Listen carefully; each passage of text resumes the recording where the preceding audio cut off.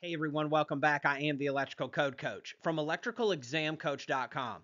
This is lesson 2.2 in our video series, and we're going to be diving into Article 220 load calculations. And just to clarify what we're doing, we are calculating the demand on a home in order to be able to size the main breaker, the wire, the pipe, the service, and everything that goes along with it. But before we can size all that, we have to know what is the demand on this home. And that's what we're going to be learning over the next few video lessons. Article 220 is broken down into five sections. The first one is general requirements.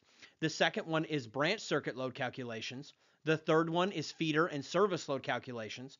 Part four is optional feeder and service load calculations. And part five is farm load calculations. We're going to take you through each one of these piece by piece, except for farm load calculations. The odds of you ever being tested on that are very slim.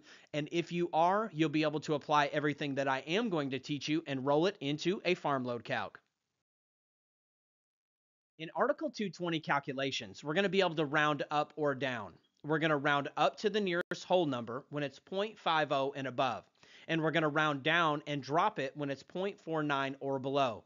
I want to let you know, though, that we're only going to do it one time at the end of the calculation. You're not going to be rounding up and down in between each piece, or you'll definitely end up with the wrong answer. So let's imagine we have this scenario of 26 amps, and after we do all of our math, it equals 32.5 amps. Well, in this case, we're going to round up to 33 amps. Now let's imagine we have a similar scenario, and when we get our answer, it's 31.25. Well, in this case, it's 0.49 or less, so we are going to round down in this scenario. And that's how we're going to deal with all of our numbers in load calculations.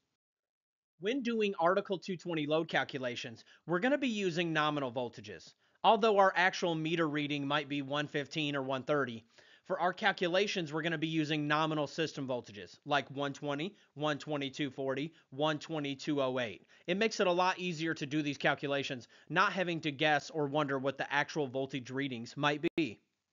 The first thing that we're going to learn about for our whole home load calculation is how to calculate the general lighting and receptacle loads.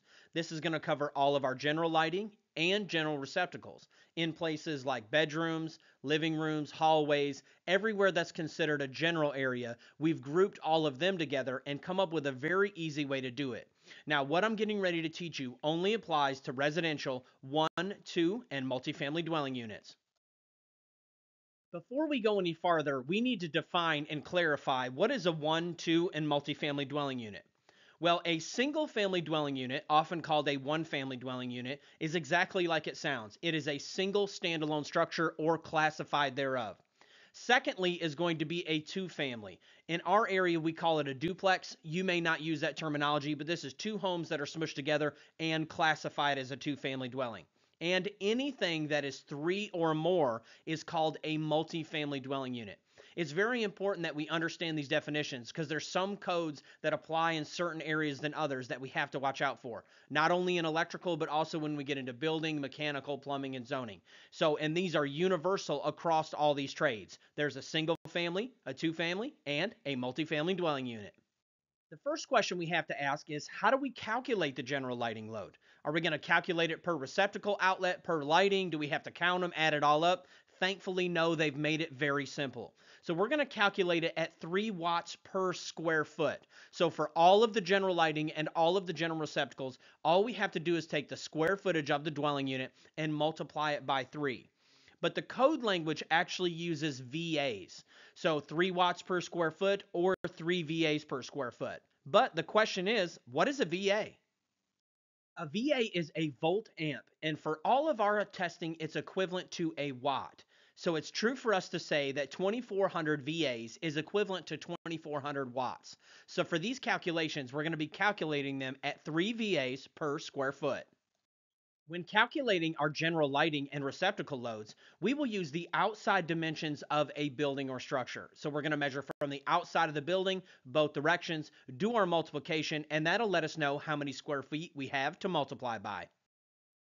When calculating our general lighting and receptacle VAs, open porches are not counted in the square foot VAs. We're not going to count open porches and spaces that are not adaptable for future use.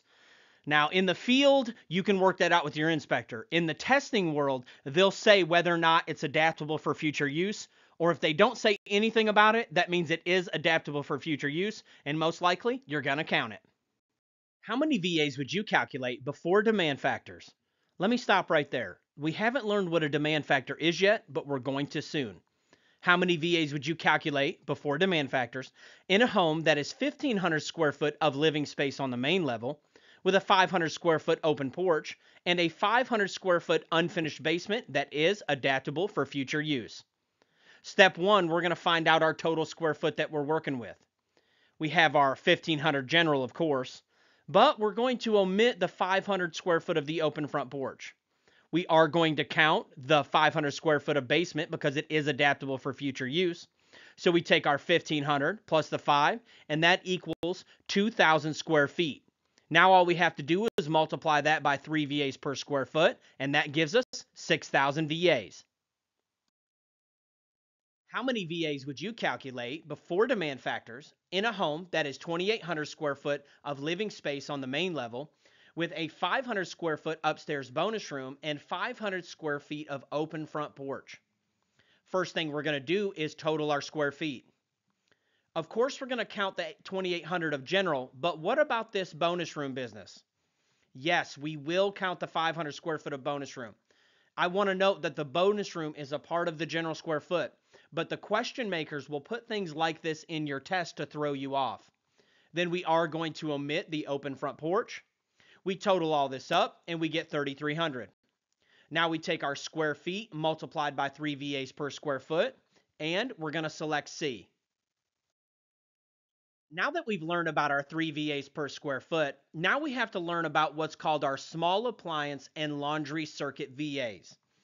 In every whole dwelling unit calculation, we're going to have two small appliance branch circuits calculated at 1500 VAs each, and one laundry circuit calculated at 1500 VAs each for a total of 4500 VAs. Now, this is something that we're only going to do and attach it to the general lighting load and receptacles before demand factors. We're only going to do it when we're doing a whole house load calc. We are not going to add it on to something like an individual dryer or an individual range. Those are calculated individually. This is only when we're doing a whole home load calc. And once we start doing them, I will make sure to reiterate to you so you understand when and how to apply this.